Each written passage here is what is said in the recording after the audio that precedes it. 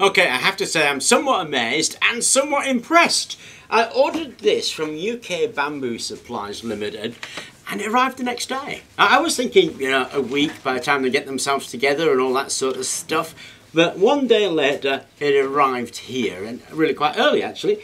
So we got a whole stack here of bamboo between 35 and 40 millimeters in diameter, and this is what we're going to make our quad bike out of. So let's get out of the package. I'm working on this in sections, so we're going to deal with this back section, which is the chair, because all of the sections are pretty much made the same way actually. So we deal with this, and then you break it down into sections, then it's all the same construction technique. So having had a look at the section, what I do is plan it out, and this is the back chair along with the rear axle, and I cut all the pieces of um, bamboo to size, and then drill appropriate sized holes so that the other pieces of bamboo can slot into it, and that gives me kind of a socket and peg joint. I'm holding that joint together with Gorilla Glue, the waterproof adhesive. It's polyurethane, it expands to more or less the same colour as the bamboo, and it's incredibly strong.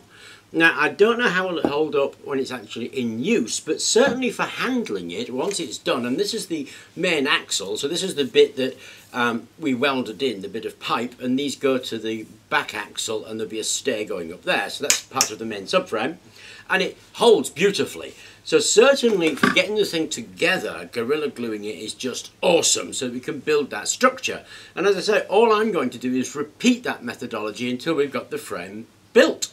So um, oh, one more thing. I do slot the pieces together before gluing it to make sure the whole section fits and is square. It gives me a chance to square it up and give it a jiggle around so that I can make sure it's in the right position.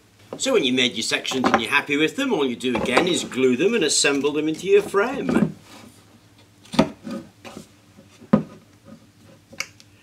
And we put those sections together to build up the frame. Okay, and that's the frame all together. It's really light, actually. I can pick that up with one hand and hold it out, so it's really light. Now, it is at the moment only held together with um, Gorilla Glue. Gorilla Glue is great, but this is going to be flexing an awful lot, and it is bamboo. So Gorilla Glue isn't enough to hold this together. What we need to do is we need to wrap the joints. Now, what I mean by that is right here. You drill a hole here and then you feed your fibre through and you can see I'm using carbon fibre and you feed it through the hole and then you wrap it around there and we paint that with resin what we get is a carbon fibre joint. Now you don't have to use carbon fibre, you can use string if you want. I just so happen to have an awful lot of this stuff which is carbon fibre tow. Now tow has the fibres in a single direction which is what we want because this thing is going to want to pull apart that way Remember, it's a socket joint, so the forces this way and this way, and this way and this way, are taking care of the socket. It's wanting to pop out that way, which is why we need to wrap it. So I'm going to do a whole load of carbon fibre tow along these joints, and then resin it. And I said, to do that, I've got this one ready. We just drill a hole here.